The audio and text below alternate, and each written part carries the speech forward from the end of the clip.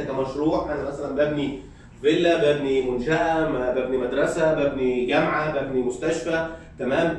ال distribution بيبدأ معايا من دخول كابل ال medium من شركة الكهرباء ليا تمام؟ وبعد كده بيدخل على حاجة بيسموها medium voltage switchgear وبعديها بيدخل على المحولات وبعد المحولات بيدخل على ال low voltage switchgear أو بيسموها ال MDB هات وبعد كده اللوحات وهكذا إلى أن تصل إلى إيه؟ ال load. فده الجزئية اللي إحنا بنشتغل عليها في ال power system distribution كان في أحد ال- ال- الحاجات اللي مضايقاني أنا شخصيا أثناء الدراسة من أيام ما إحنا كنا في الكلية كانت الناس اللي بتدي لنا الكورسات معلش دكتور أكاديمي بحت. فهو قاعد بيديني معادلات وأنا مش حاسسها. نزلت ال site مش عارف أتصرف. مش عارف أشتغل. وأنا حافظ حافظ معادلات. إلى اليوم. وشاطر. مش إلى اليوم أنا بقى يعني خلاص إن شاء الله خلال شهرين ثلاثة هخلص الدكتوراه بتاعتي. ومتخيل إن أنت عشان بتاخد شهادة علمية لازم تبقى أنت إيه أكاد... هو الدكاترة اللي طلع ما اشتغلش في ال site هو أكاديمي ما شافش. ما شافش الكابلات دي بتتركب إزاي على ال cable tray وتتمدد إزاي وإيه المشاكل وإيه اللي بيحصل معاك في ال site.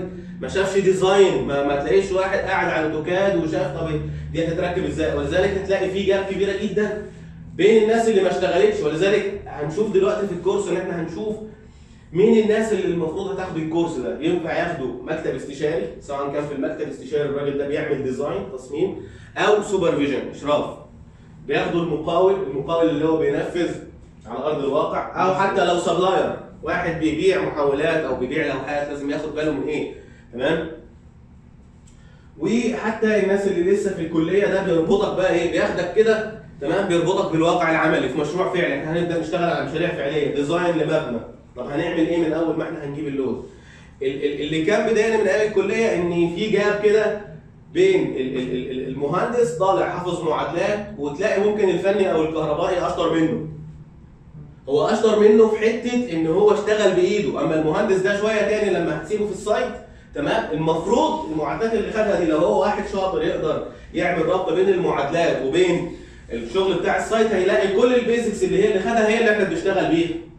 اما واحد يقول لك لا ده إحنا اللي خدناه في الكلية ده ملوش أي لازمة والدراسات اللي إحنا بالعكس أكتر علم بيحتاج أو أكتر شغلانة بتحتاج لعلم الكهرباء لأن دايما بقول الكهرباء أي حد ممكن يخطأ خطأ وبعد كده يصلح. إلا الكهرباء. الخطأ فيها ممكن تموت ممكن تدمر منشأة كاملة ممكن تدمر كل الدنيا بخطأ واحد بس. فما فيش احتمالات للخطأ فأنت لازم تبقى دقيق شوية في اختياراتك في تصميماتك في مش عارف إيه.